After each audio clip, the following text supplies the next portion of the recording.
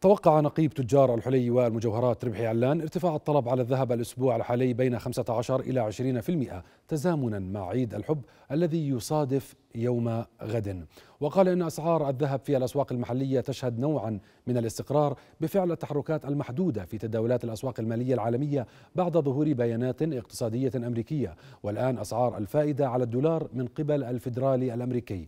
ويبلغ سعر غرام الذهب من عيار 21 الأكثر رواجا بين الأردنيين 38 دينارا. أما غرام 18 فبلغ 34 دينارا. ويبلغ سعر الليرة الرشادي 269 دينارا وسعر الليرة الإنجليزي 307 دنانير.